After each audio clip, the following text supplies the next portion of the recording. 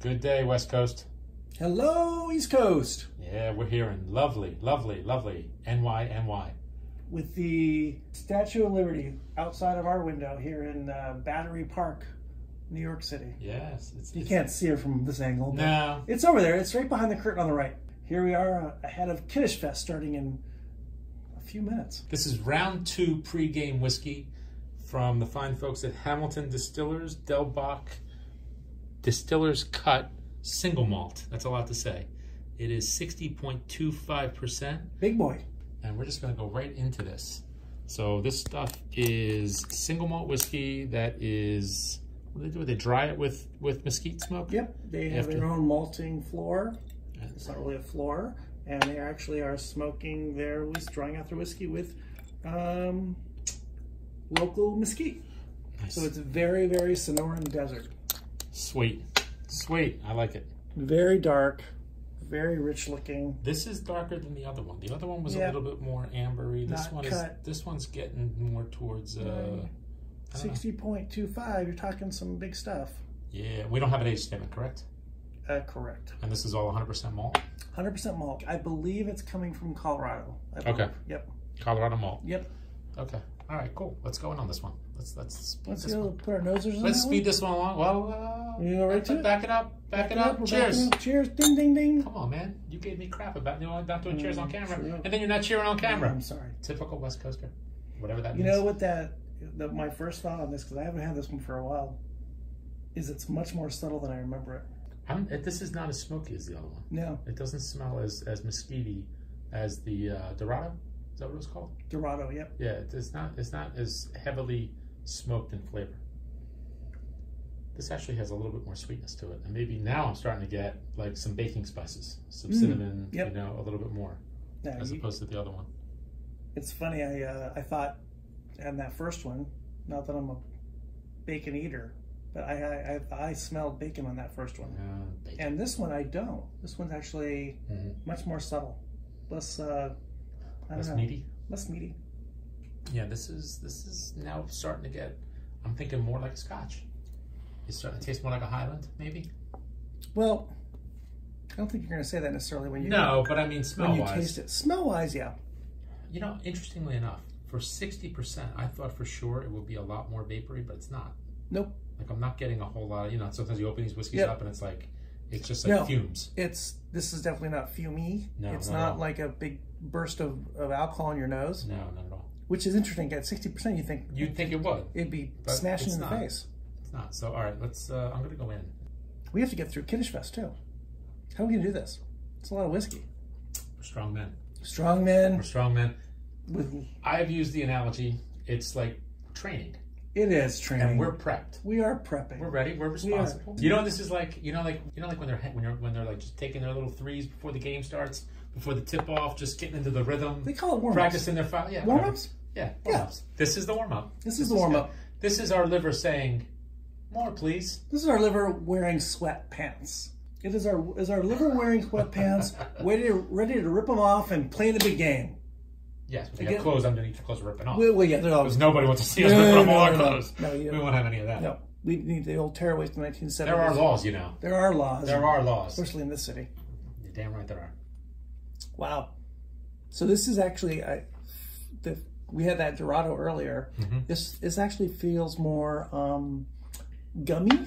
I don't want to say more lockish Hmm. or or uh, um, cleanly cleanly-ish ish. Um, but it definitely has a, a bigger mouth feel to me. But it's odd though because my tongue itself is not burning, Nope. but around my mouth. Exactly. It's on the outside, like- on the like- gums, yeah. on the, on the on the sides of your tongue. How does that happen? I don't understand. It's all. What is this? What's what kind of alcohol? What is this? Not ethanol. What's the? What do they call this? I don't know. I don't know. Whatever. I'm sure there's a chemical. Anol. Just say Sure. anol. Anol. Okay. It definitely has that mesquitiness to it as the as the Dorado, and um, Yeah, but not as. it's it's different. It is. I don't remember. If, this is the the distiller's cut, and I think they kind of mess around a little bit with the barrels, okay. so it's maybe not all brand new Mhm. oak. So there could be something else in there. I'd have to go look at our uh, my notes and see if this was in some sort of other kind of cask. Um, Because um, they do like one of these a year, I think, and they're a little bit different each time. So this one's definitely not the same. I can tell this is not just 100%. No. New, well, I don't know. You would know better than I would. But it, it's very nice. I think it's very nice. Yep. You know, it's it's different. I think it's a lot different from the other one. It's not quite as herbally. No. I'm getting and, a little and, bit more of the sweetness. And I think that's the different. You see in that, if if the Dorado's is the basic, and this mm-hmm. is like a different extension of that. Yeah. Because uh, one, there's no water added, and there's a different uh, uh, cask maybe possibly being involved. Yeah. You're different. You're seeing a different all the subtle, subtleties that this thing can come out. Yeah. And be with some little bit of effort. It's nice. Now, as I'm drinking it more, it's getting it's the, the heat is building. Mm. It's definitely getting a little bit hotter. I mean, again, we're drinking sixty percent alcohol. I so. would suggest that it doesn't taste like sixty percent. No, it's not. It's no. not. Again, not harsh at all. Not harsh. So I don't know what kind of voodoo they're doing out in the desert. It's the hoodoo voodoo that we I don't, don't know. know. Is there peyote what? in this? Is that what's I the thing don't know that peyote is one of no, the no actual peyote? part. I don't know that. I don't know. no comment. You can neither confirm nor deny. There might be rattlesnake juice in there. It's the Sonoran Desert where all kinds of beautiful things happen in nature. Right. So anyway, going back to the whiskey, enough about these little stories about rattlers and scorpions. Scorpion bowl? How about a scorpion bowl? What's a scorpion bowl? Isn't that the big drink? Scorpion. Yeah. Oh, yeah. Yeah. Oh, scorpion uh, bowl. the tiki punch. Yeah, the tiki punch. Interesting connection here.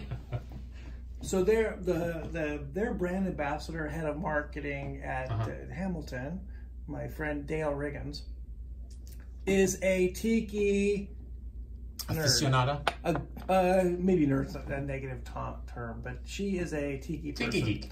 And she told me that there is a there's a whole southwestern tiki world. Interesting. Can you imagine a tiki party in in Tucson? No. Cactuses wearing hula attire. I'm in. Why Would that be crazy? I'm in. You're in. I'm in. Scorpions drinking scorpions.